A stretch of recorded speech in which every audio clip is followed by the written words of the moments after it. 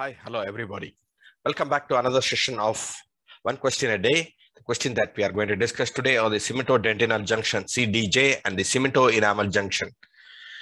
Cemento-dentinal junction is formed between the cementum and dentin. Okay, happens in the root, and there is a distinct difference between the permanent teeth and the deciduous teeth. In the permanent teeth, it is straight and firm, whereas in deciduous teeth, it is slightly scalloped and firm in both the instances, cemento-dentinal junction is a wide band that gives stiffness and helps in the redistribution of forces to the alveolar bone. It is made up of collagen fiber, water, and ground substance, all uh, what is it, calcified matrix, and there appears to be a thin layer of hyaline layer or intermediate cementum. These are structureless layer between cementum and dentin called hyaline layer or intermediate cementum layer and often seen to be in the apical two-thirds of molars and premolars. The exact origin and function is not still deciphered and the existence is always challenged. So this is cemento-dentinal junction. And cemento-enamel junction is formed between the cementum and enamel. In 30 percentage of the tooth, it ends in a sharp line. In 10 percentage of the tooth, the enamel and cementum does not meet. In 60 percentage of the tooth, the enamel and cementum, the cementum overlaps the enamel in 60 percentage of the tooth and 10 percentage of the tooth. Both the entities do not meet, exposing the radicular dentin or the root dentin to outside environment. In 30 percentage of the tooth, they just meet perfectly at a knife joint.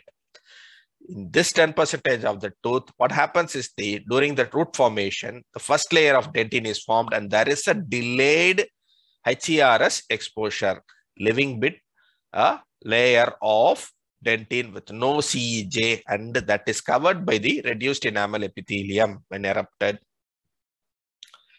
how cementum overlaps in enamel in 60 percentages, the HER often degenerates a little bit earlier, exposing the underlying newly formed dentinal tissues to the surrounding dental sacs or the ectomesenchymal tissues.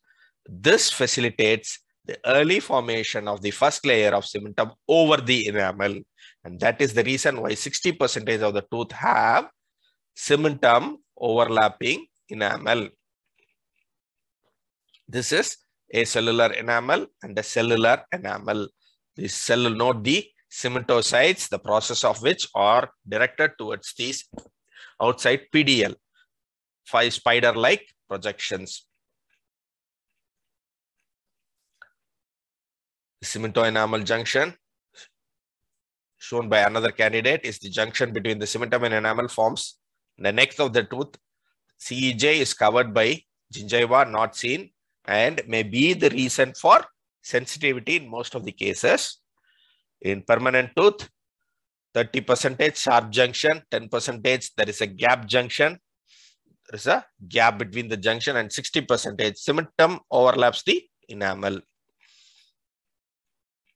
Okay, the reason why there is a gap because early absence of degeneration of REE after dentin formation exposing causing a gap, whereas early rupture of REE prior to its times exposing the contact of enamel causing.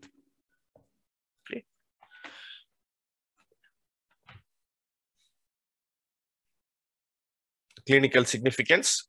CEJ is covered by gingiva. If it is visible outside, then there is a recession of gingiva, maybe leading to sensitivity. With that, we come to the end on the discussion on cemento enamel junctions and cemento dentinal junctions. Stay connected with this channel for more questions and till then learn incrementally.